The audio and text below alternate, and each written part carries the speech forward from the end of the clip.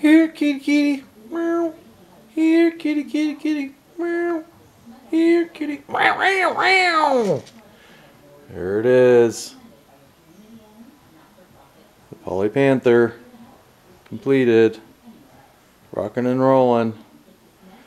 Left the clear receiver. That's kind of smoke gray. But it's all together. Fire's functional. So we're going to put it through some paces here. Now I've got the metal forend just because that's the way it's going to be deployed. But I do have the shorter stock for comparison purposes. So this is the one that it was being compared against. This was its predecessor, I guess you could say.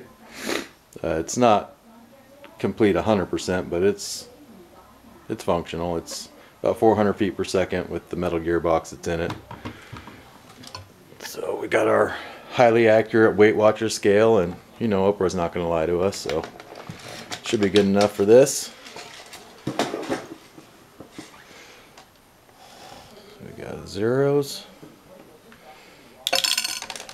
Don't need the BBs for for weight. We got four pounds, 0.9 ounces. Let's do this guy. Four pounds, five ounces. So even with the metal forend, we're quite a bit lighter. Here we are. Three pounds, 9.7 ounces with our little shorty fore forend. Sure, she goes back to zero. Okay, so then we'll go ahead and do some uh, chronograph. See what we got with this junk stock setup. But should be interesting for comparison purposes. So let's go ahead and get the weight of a standard full-size CM28. So that's 3 pounds, 13 ounces. Okay, the camera's having a hard time picking up the chronograph, but we'll do our best here. This is Poly Panther. I've got the Elite Force 7.4 LiPo. It's uh, not a great battery, but it's not a great gun, so shouldn't expect too much. So this is Poly Panther. 253, 251, 252, 318, 318, 314, 315, 317, 317.8, 256, 326, 324, 257. We're getting really good uh, consistency off of this plastic gearbox, as we would expect. But let's go ahead and try one of the uh, stock ones, see how it compares, and see if it has that same consistency problem, or maybe I'm having hop-up problems.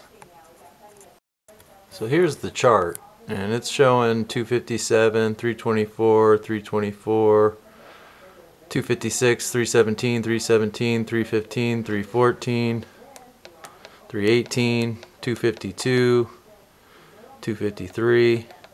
It's kind of all over the place. So let's try it with the regular CM28.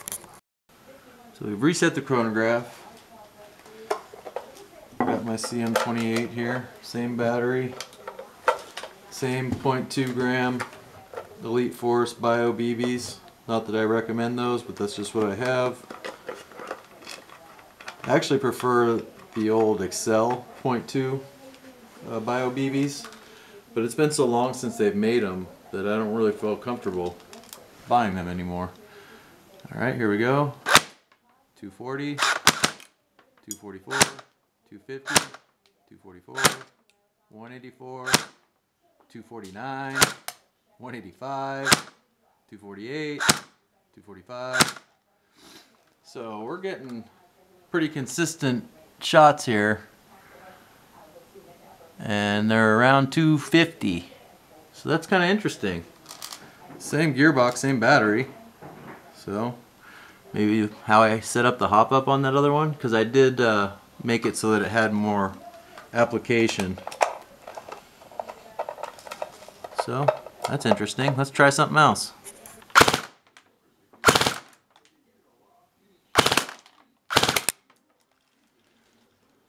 Twelve rounds a second.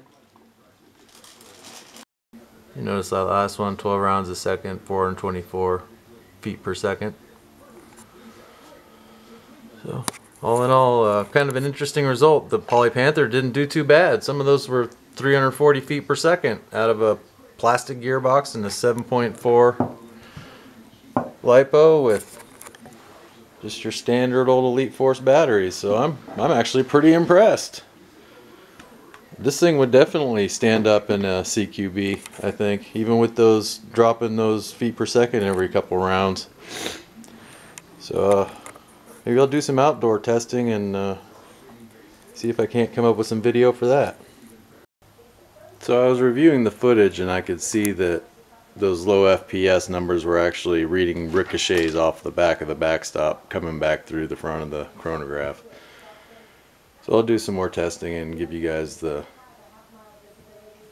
average feet per second for Poly Panther since that's the most important. But for testing, everyone's away and I found these. So guess what we're going to be shooting. So here's my GoPro setup for my airsoft. It's one of these quote unquote CNC adapters. And uh, one thing you want to be sure to do if you want one of these is to buy it from China because I think they're $2.36 or somewhere in there. Maybe they're $4. But from the US sellers that unscrupulously sell them, I think they're 40 something, 20 to 40. They're only a couple dollars from China. You just have to wait.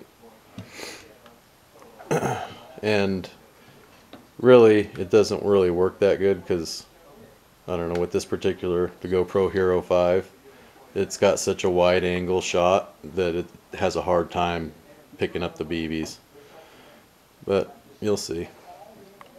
I wanted to show you this that I picked up yesterday at a thrift store. It's a, a altimeter from a World War II airplane.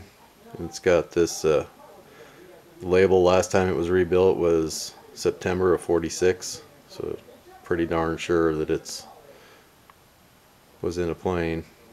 Pretty cool. Five bucks. Pretty neat. Unrelated, but cool nonetheless. So, this is how we're going to kill it.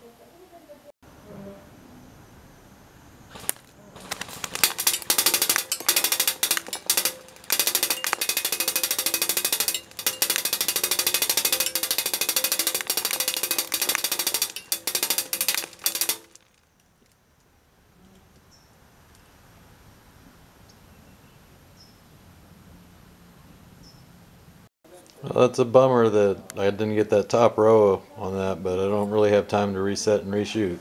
So that's it on that. Anyway, so with the 11.1 LiPo, looks like I've got an average of 319.3. So I'm going to try it again with the 7.4. It seems to shoot just fine with the 11.1. Pretty consistent actually. Uh, max is 326, min is 312. So you could kind of see on that shooting video of the ornaments though that there was some droppers in there every once in a while and I don't know maybe that's just the ammo consistency. Like I said these aren't the greatest. All these shot fine into the pillow but this one broke up and if that happens inside your gun that's big problems. Anyway so I'll try I'll swap on the 7.4 and repeat the test and we'll try it again. Well there you go obviously a wiring restriction. Uh, with the 7.4 you've got an average of 324.4, max 329, min 319 with a pretty close, I mean there's no, no droppers in here at all. Uh, rounds per second is 8.3 to 9.5, it started picking up at the end there. So all in all, pretty darn impressive for a polymer gearbox and plastic pretty much everything. Now longevity might be something else and that'll be something I'll have to test out in the long term, but for now I'd say that's a pass. I mean, I don't really see the need to mess with it. That's going to be perfect for me uh, and for what I need to use it for. I might end up just painting that polymer receiver anyway. I don't know. We'll see. So thanks for watching. This has kind of been a long episode, but hopefully you've picked up something. I definitely learned something. Uh, that the brass barrel in that Polypanther adds to the weight, but I think it also adds to the increase in feet per second and the accuracy of it. It seemed to be fairly accurate, you know, for not having adjusted anything. Of course, everyone blames the hop up adjustment for not being able to hit anything the first shot, but like I said, too bad we didn't get the top row on the this video because you can't really see much on the GoPro, but I'll include what's worthwhile of that anyway. Uh, anyway, thanks for watching and hope to see you on the next project.